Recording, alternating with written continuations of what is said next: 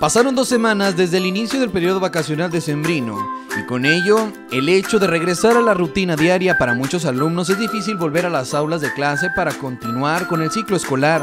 Por tal motivo, planteles educativos de la región han optado por implementar estrategias para que el regreso no sea tan pesado. Por ejemplo, el Colegio San Gabriel de Gómez Palacio les permite asistir el primer día de clases en pijamas alguna vez en el kinder con los niños pequeños, después lo, ya lo aplicamos acá en primaria y pues les ha gustado, los chicos de secundaria también encantados y son ya muchos años los que tenemos con esta tradición pijamada.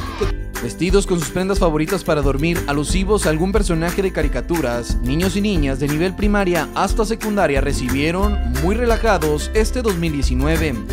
Vienen cómodos, motivados, vienen presumiendo su pijama, vienen con almohadas, traen peluches, vienen motivados.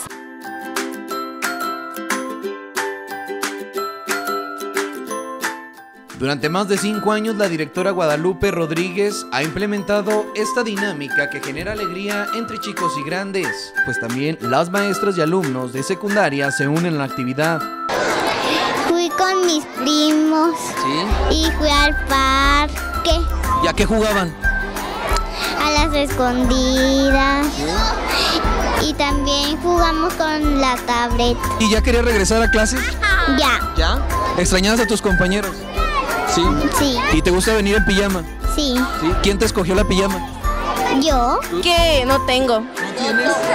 Bueno, pero ¿qué te parece este inicio de clases con todos tus compañeros, pues, con su pijama? No, pues chido, yo no sabía, no me avisaron, pero chido. Me siento muy padre y pues, sí, es muy chido venir. ¿Te gustaría venir así todo el año escolar? Claro.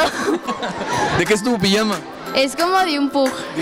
¿Y por qué un pug? ¿Te gustan? Sí, es mi raza de perro más padre. También chistosos, ¿no? Sí. Los menores argumentaron que extrañarán las vacaciones, dormir tarde y ver televisión, aunque también anhelaban la convivencia entre sus compañeros.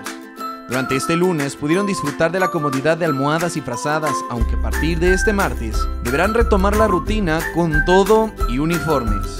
Bueno, muy motivador para ellos, no sienten la levantada eh, vienen muy contentos, sobre todo vienen muy, muy contentos este, este día, este inicio, ya se acoplan, se aclimatan y ya mañana ya vienen un poquito más normal. sí, sí, sí, sí, llegaron, pues yo creo que como se levantaron, así se vinieron, así están todo el día.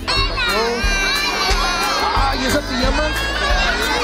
¿De qué es? De Con imágenes de Mario Covarrubias, informó para Telediario Juan Carlos Lózano.